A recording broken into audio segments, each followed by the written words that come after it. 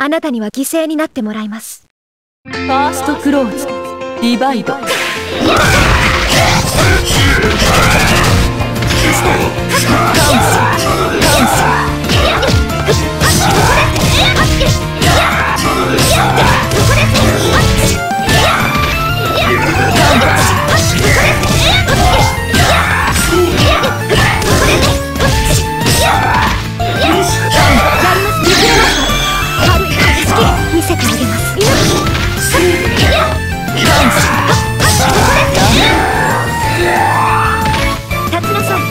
まだ終わってはいませんオリー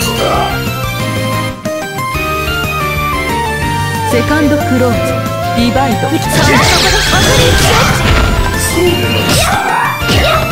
油断しました